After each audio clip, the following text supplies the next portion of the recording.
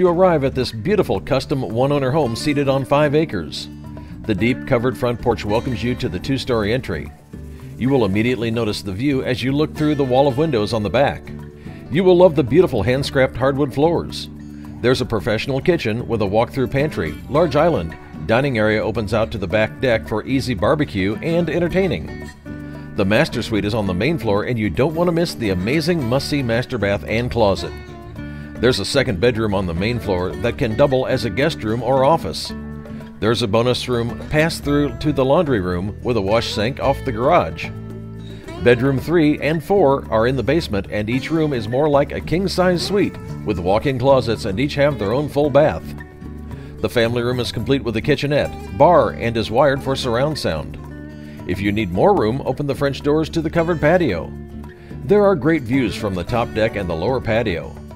There is pasture behind the home with wildlife and livestock. There's also a storage room that doubles as a safe room with 12 inch concrete walls and ceiling. This home has a lodge like feel and can be yours with a call to Micci today.